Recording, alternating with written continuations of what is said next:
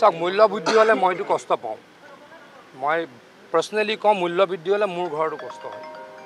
গতিকে মূল্য বৃদ্ধি নোহোৱাটো বিচাৰোঁ। এই ক্ষেত্ৰত চৰকাৰে চিৰিয়াছলি কাম কৰিও আছে। অলপ অসুবিধা হৈছে অলপ অসুবিধাটো তেনেকুৱা নহয়। তেনেকুৱা নহয়। মই আপোনালোকক এইটোৱে কৈছোঁ মই এটা বস্তু জানো যে মূল্য বৃদ্ধি হ'লে সকলোৰে কষ্ট হয়। এইটো মোৰো হৈছে। মই আগৰো ষ্টেটমেণ্ট আপোনালোকে চাব যেতিয়া হয় মই তেনেকৈ কওঁ। সদায় হয় যে হয় সঁচা কথাটো কৈছোঁ। কিন্তু এতিয়া অলপ সমস্যাটো কিয় হৈছে পৃথিৱীত এখন ডাঙৰ যুদ্ধ চলি আছে।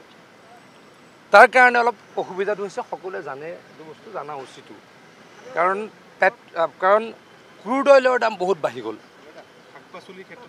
মই এইটো কৈছোঁ গোটেই বস্তুটো ইটোৰ লগত সিটো ৰিলেটেড মই প্ৰথম কথা মই কৈছোঁ যে আপোনালোকে মোৰ কথাটো টুইষ্ট নকৰিব কাইণ্ডলি মই কৈছোঁ যে মই সংবেদনশীল মোৰ ঘৰতো বস্তুৰ দাম বৃদ্ধি হ'লে কষ্ট হয় মোৰো কষ্ট হয়।